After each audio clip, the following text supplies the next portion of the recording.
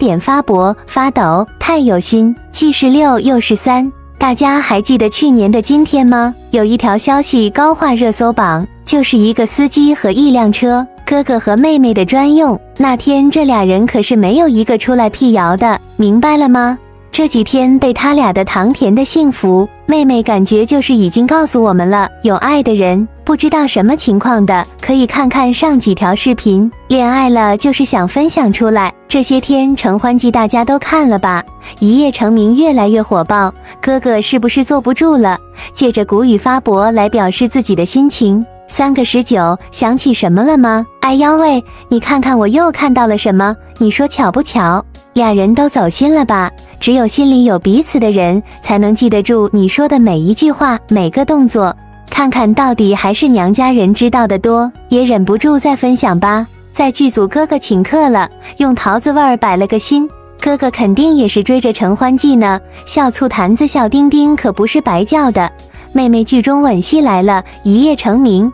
哥哥这不就发博套子的制作工艺，烤火、电锯、刀等等，哈哈，给我感觉醋坛子翻了。这俩人是不是老有感觉了？很有港风的味儿，越来越被同化了。今天是哥哥光点四周年了，时间好快，谈恋爱就要穿牛仔衣。前几天哥哥妹妹已经给了很多的糖了，现在又专注搞事业，不过要记得再来撒点糖呀。因为我们爱看，大家可还记得去年这张照片？哥哥衣服皱皱的，上了飞机就入睡了。哦，当时还差一点没赶上飞机，知道什么原因吗？可以翻看去年的视频，妹妹那几天也神隐着呢。哥哥如梦刚弄完，八卦一下，自行脑补吧。所以说，他俩每个值得纪念的日子，我们 CP 粉是不会忘记的。哈哈，想想都幸福。去年二十六号。哥哥到上海以后，好像还是这个司机去接的呢。当时这个司机小火了一把呢。妹妹的承欢季收官了，真的不够看。沉浸在卖家的幸福之中，有欢乐有伤心。妹妹发小作文了，重要的是在妹妹收官这天，哥哥家小事替哥哥发博了。你说巧不巧？卡点发的。照片霸总范十足，让我想起这几天剧中的一夜成名，哈哈，哥哥吃醋了吧？还有重要的是文案，居然和妹妹前段时间的文案相同，妹妹也给力，照片依旧三字排列，还有他俩的向阳而生等等，这些都好明显。妹妹发博了，照片总感觉留了一半位置，妹妹现在好用心，又出现了三，感觉你俩真的越来越傻傻的分不清，同化了。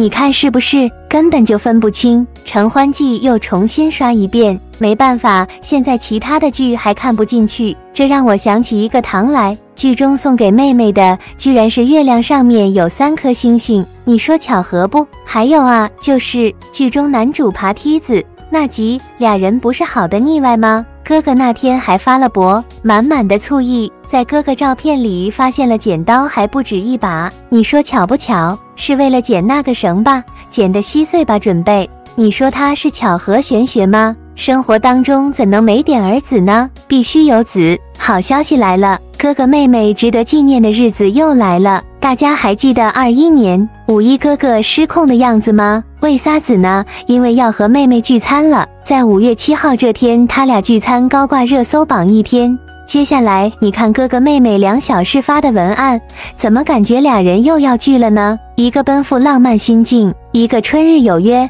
上海啊，巧了不是？双顶流，哈哈！妹妹的承欢季马上要收官了，用了向阳而生。我画的是一个太阳，希望不仅仅我，不仅仅是我自己，嗯然后所有人可以像太阳这样。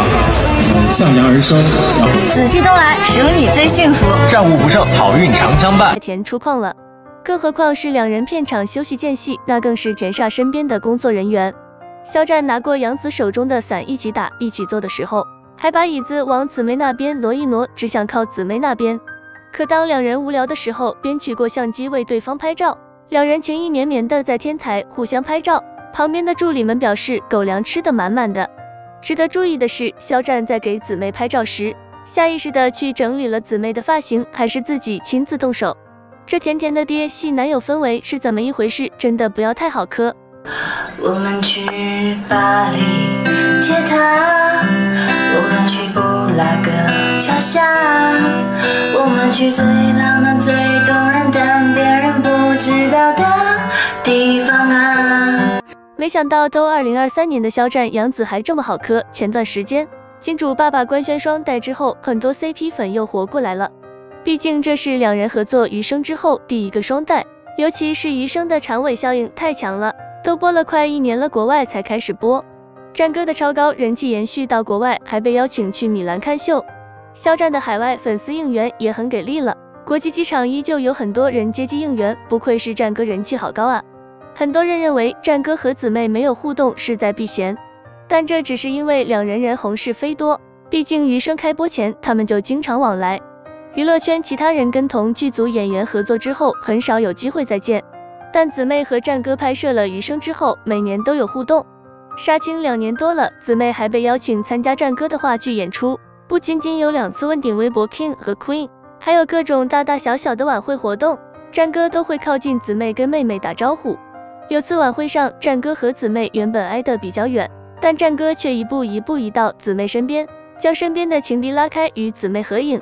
难怪主持人介绍他俩时会调侃，说到杨紫不得不提到肖战，这信息量太大了。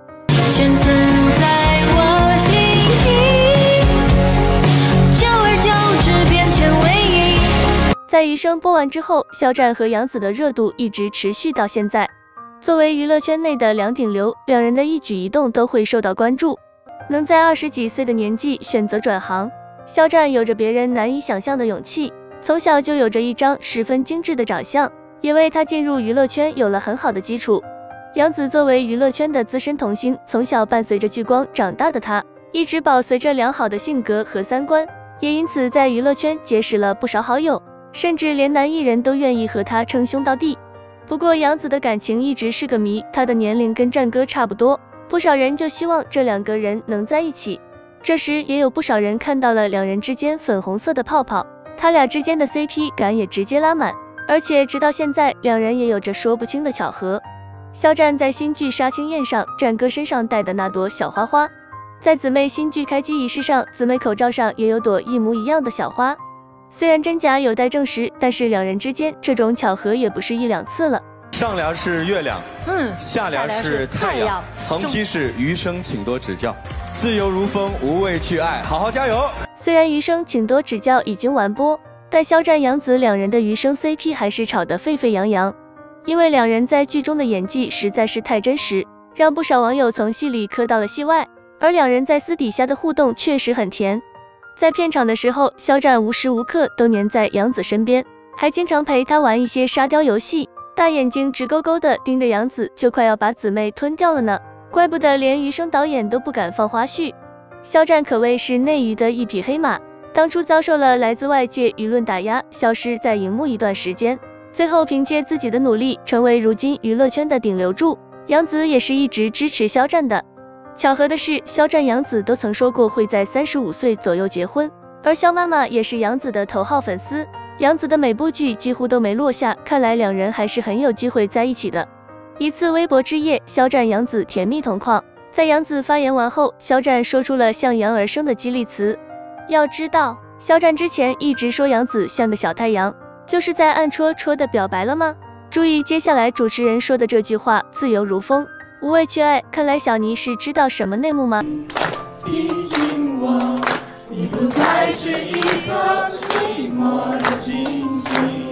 可以说是诚意满满，这是肖战第一次在片场过的生日，对他来说，这是一场很特别的、有意义的生日了。因为肖战和杨紫在戏里实在太甜了，很多 CP 粉们都走不出来，毕竟杨紫真的是和谁都超级配的百搭甜女主。所以当肖战被问想不想把杨紫娶回家，战哥下意识就回了句，那得看他愿不愿意嫁我了。肖战的一句话，杨紫害羞的脸都红了。其实战哥的年纪也不小了，虽然也到了谈婚论嫁的年龄，但对他来说还有更高的挑战。余生这部剧其实早在二零二零年就应该跟大家见面了，由于种种原因一直拖到二零二二年，但好在功夫不负苦心人，余生没有被埋没，还能等到开播这天。让我们吃到这么好吃的狗粮。我的女朋友想怎么抱怎么抱。好好好，好好了，本期视频分享到这里，喜欢的在视频下方进行点赞留言。